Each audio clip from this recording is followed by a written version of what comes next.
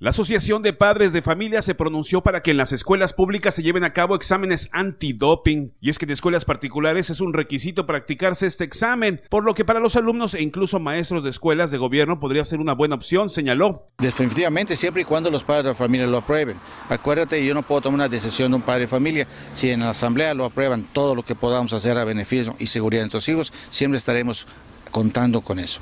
Sin embargo, se presentó el caso de una escuela particular que no admite alumnos que no presentan los exámenes antidoping, como el caso de un joven que se le negó la entrada a la escuela en la Supermanzana 24 en Cancún. Pues que los alumnos que habían hecho el antidoping no los dejaron pasar a la escuela. ¿Cuántos eran? De mi salón somos 20, entraron 6 alumnos. De CCH, de preparatoria, son de los tres semestres como 15 alumnos, 15, 20 alumnos, entraron 3 alumnos yo creo. Ya nos habían dicho desde antes del antidoping y ayer nos dijeron a la salida que si no lo pagábamos no podíamos pasar a la escuela hoy. Y pues la mayoría no lo pagaron. ¿Y cuánto les cuesta? 250 pesos. ¿Y por qué no te lo has hecho en tu casa? Pues porque no teníamos el dinero para pagarlo hoy. Y eh, no, no ese es el, mi caso, pero muchos alumnos, no, los papás no quieren que se lo hagan aquí en la escuela, prefieren hacerse en un laboratorio que ellos escojan y que no, que tiene que ser con el de la escuela.